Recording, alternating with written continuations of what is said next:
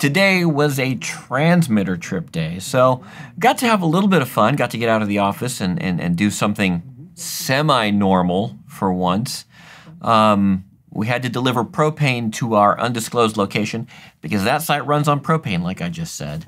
Driving back down from our undisclosed location, uh, we had to deliver propane. And now our propane is full, which is a good thing because uh, we have another storm coming in on Sunday, possibly. And uh, it's all solar generated up here. And if there's no sun, there's no power. So we have propane generators that keep us on the air for this station. So we uh, had to make sure we had propane. Okay, so now heading back ugh, down the mountain oh, uh, without dying. That's that's very difficult sometimes. Ugh. That was that was kind of nice to get out, but it was such a crunch day of, of so many things crammed into a single day. Yesterday or this morning, we had the live broadcast. Again, it's still not something we can hand off yet and have it be automatic. There's a lot of, um, for lack of a better term, hand holding with from the engineering crew to the production side of things. Thank you, K-Wave family. We appreciate you so much. Go silent. And that's it. It's all done. Um, so we were here this morning. We were getting that all working, and then we tested for tomorrow's program right afterwards, which took a little bit of time as well. So we're testing for tomorrow. We've got uh, our guy up. We're testing on this side, and we have audio. All good. And then I left to go escort our propane guy up the mountain. Rushed back here because we had somebody coming in on the afternoon live talk show, Pastor's Perspective. We had someone calling in with Skype on that. And so had to make sure that that was going to work right and work proper. Chad was really good at getting that working without uh, very little input from me. So good job for him. Good job, Chad. And um, and then right after that, we tested for our special guest for tomorrow's live show, Pastor's Perspective. So, and that took about an hour with some technical troubleshooting that needed to happen.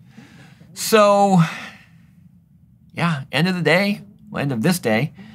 Now it's a, a matter of continuing on and making um, continual improvements to the processes that we have for these new endeavors that we've got going on.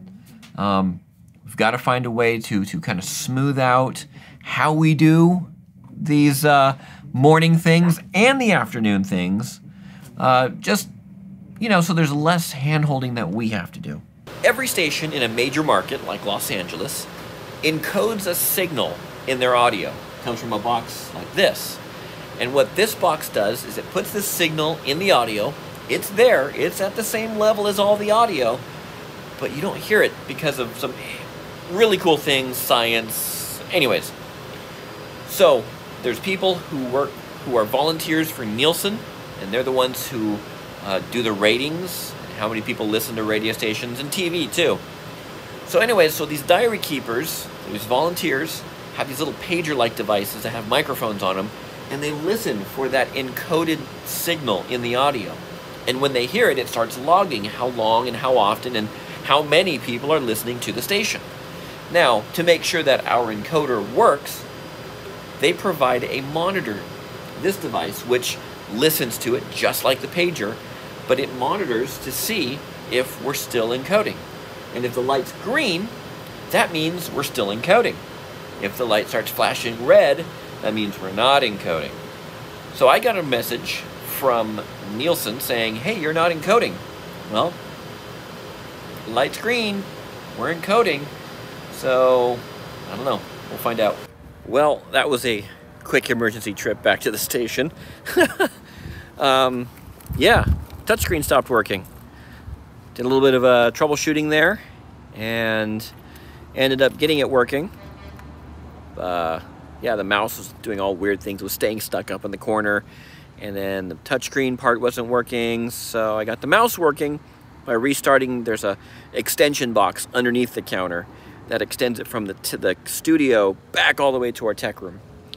Um, so we started that, got the mouse back, but touchscreen still didn't work, and they kind of rely on the touchscreen in the studio. So restarted the whole computer. That we have a, a, a hot standby basically of all the programs, and it's on a little compact flash card. So we play it off of that at the same time that we play it out of the computer, just as a backup, as a hot standby backup. And so uh, once we uh, switched over to that, restarted the computer, everything came up, and everything was happy. All right, back home. And now this ends my day. Stay safe, stay healthy.